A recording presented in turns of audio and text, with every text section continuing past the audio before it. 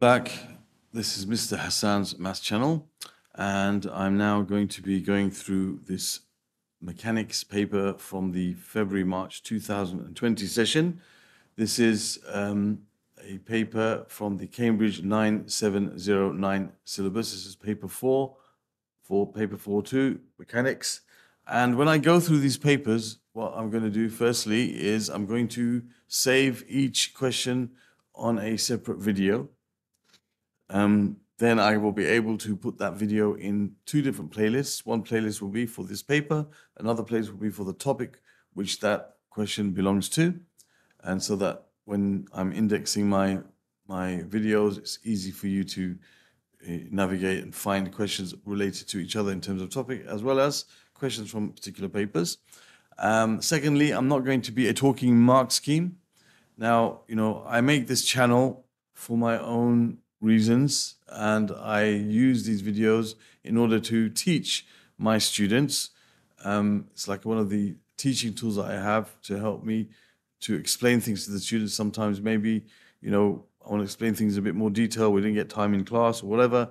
And, um, you know, so I use this as a way of teaching. So I'm not doing this just to make a video to get views and whatever. I'm doing this as a teaching tool. So sometimes I go into some detail when I'm explaining a question. Sometimes I've got in my mind a question that a student asked or some mis misconception that students, some students might have had. So that might be in my in my head at the time. I'm trying to address and you know clarify that particular point. So sometimes I go into more detail, into some background, uh, and I might explain things in a bit more detail than some of you who are just looking for a, a, the mark scheme might be looking for. So you know, just bear that in mind. I'm not here just to, you know, go through the, the mark scheme of the paper and read it out. I'm here to explain some of the concepts behind the topics. And so that's why the questions sometimes take long, a long time because it's like I'm trying to teach the topic in many cases uh, while going over the question. So please do bear that in mind when you are watching the videos. And, um, you know, anyway, so we're going to start this this paper. Now, the first thing that we need to notice, um, if you look at the paper, these this this particular paper is one hour 15 minutes, as opposed to the paper one, which is the pure maths for AS, which is one hour and 50 minutes. Okay, so it's um, you know less time, less questions, and less marks as well. This has got 50 marks, and the paper one has got 75 marks. So its total is 125. So it says here you get a formula sheet which has quite quite um, doesn't really have that much for mechanics. It has just the equations of motion basically for mechanics. Um, now um, this stuff is pretty simple. Okay, so what you have to please make sure is that it says here you must show all necessary working clearly. No marks will be given for unsupported answers from a calculator. So that means when you want to solve a quadratic equation, for example, you have to show how you solved it. You have to show that you factorized, if possible, or you complete the square, or you uh, use the quadratic formula. You must do that. Um, also, you must uh, remember to give non-exact numerical answers correct to three significant figures. If angles are in degrees, you give them to one decimal place, unless the question tells you something else. You know, something that might say to the nearest unit or the nearest meter or whatever. If the question tells you that something else, of course, you follow the question. So that's something important. And also, the value of G in the Cambridge M1 exams should be given or should be used as 10 meters per second squared. In Edexcel, for example, it's 9.8. So that's important for you to realize. And yeah, so now we're going to get started. Now, question number one. It's about um, power and energy, I guess, the first part of it. So it's a lorry of mass 16,000 kilograms is traveling along a straight horizontal road. The engine of the lorry is working at a constant power. The work done by the driving force in 10 seconds is 750,000 joules. Find the power of the lorry's engine. So power, we know two formulae for power. Let me just pen sorted out here. Now, one of the formulae that we know for power is force times the driving force times the velocity. Another formula we know for power is the work done divided by the time. Okay, and it's this formula that we have to focus on for this question because we know the work done and we know the time for which um, that work was acting. So that's going to be our power. So the power is going to be the work done, which is 750,000 divided by the time, which is 10. That's going to give you 75,000 and that's going to be in watts. The unit of power is watts. So you can say 75,000 watts. It doesn't tell us how to express it, but you could also write it as 75 kilowatts if you want. Same thing, because one kilowatt is a thousand watts. So there's the answer to part A. Pretty simple.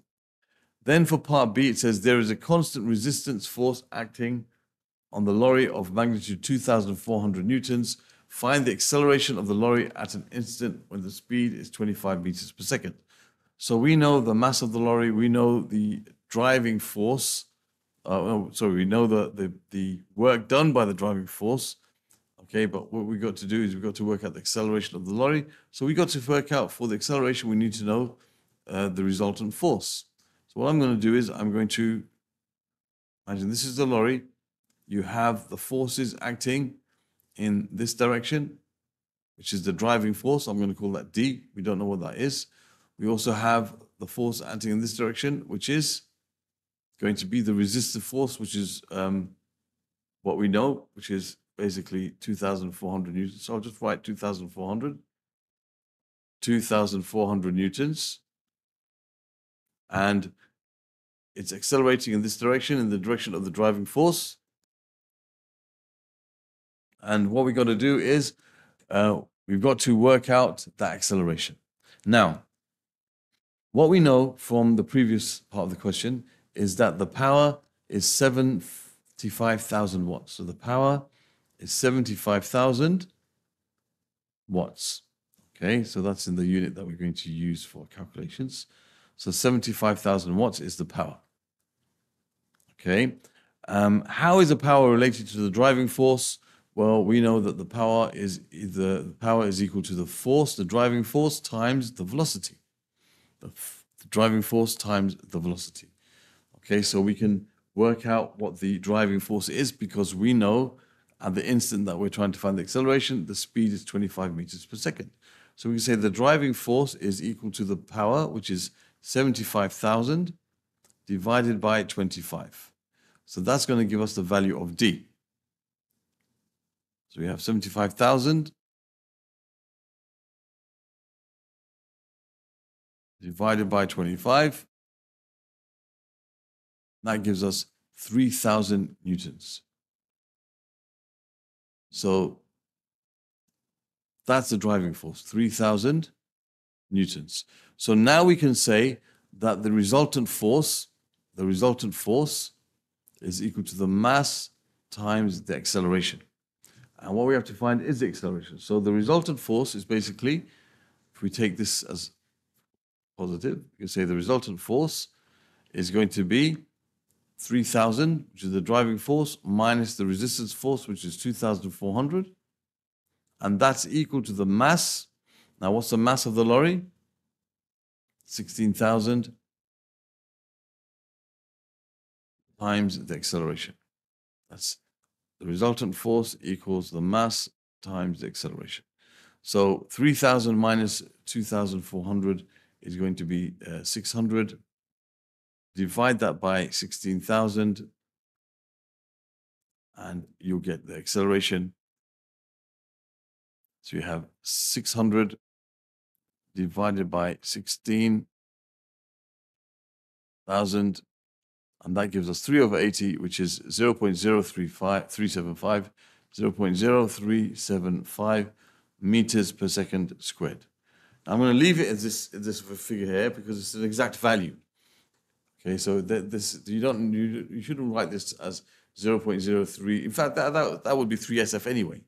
But if it carried on, for example, for like maybe one more, then you could leave it as an exact value. But this is fine. That that would be 3SF if you run it anyway. But you know, this is basically an exact value anyway. So 0.0375 meters per second squared is the acceleration of the lorry at the instant when the speed is 25 meters per second. So there's the answer to part B, and I think that's the whole question. Yeah, so that's the question. Question number one completed from this February March paper. Other questions from this particular paper can be found in the playlist that will appear in this region over here. Other questions from the topic of work, energy, and power in the playlist over here. You can subscribe to my channel by clicking on this link. And if you click on the uh, link here, it will take you to the video which explains how to use my channel and find what you're looking for efficiently. Thank you for watching and see you soon.